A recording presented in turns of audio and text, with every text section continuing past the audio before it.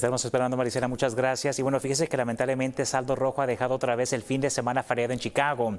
Reportan por ahora varias muertes y decenas de heridos después de numerosas balaceras en distintos puntos. Vamos en vivo con José González, que nos cuenta cuál es la cifra exacta hasta este momento. José. Alfonso, efectivamente, lamentablemente se repite la historia de otros años del Memorial Day violento. Lamentablemente este año pues no fue la excepción. Esto a pesar de los esfuerzos tanto de autoridades como también de organizaciones.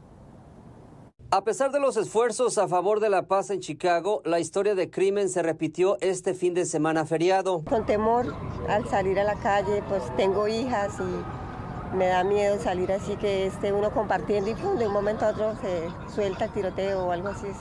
Siempre saliendo con temor. El viernes la alcaldía reveló su plan de seguridad y el sábado hubo marchas tanto en el sur como en el noroeste de la ciudad que buscaban un fin de semana pacífico. Sin embargo, eso no detuvo las alarmantes cifras. Según la policía de Chicago, al menos se han registrado 34 tiroteos, de los cuales 8 han sido mortales tres apuñalamientos, uno de ellos mortal, así como una pelea donde una persona también falleció. La víctima más pequeña fue una niña de tan solo cinco años, quien fue identificada como Rain quien fue baleada mientras se encontraba dentro de un vehículo estacionado en la cuadra 200 al sur de la avenida Campbell el domingo en la madrugada.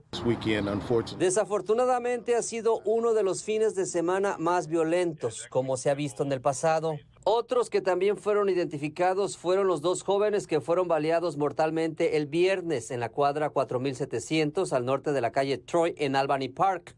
Según el médico forense, se trata de Víctor Rodríguez de 20 años y de Jaime Serrano de 21.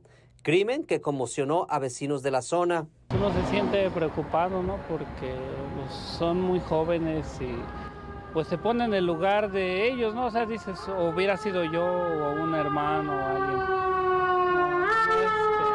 está tranquilo uno. La tristeza que está perdiendo, que está, la gente se está perdiendo en la comunidad. Cabe mencionar que estas son las cifras preliminares. Seguramente el día de mañana autoridades darán los números en total. En vivo desde el centro de la ciudad, José González, Noticiero Telemundo Chicago.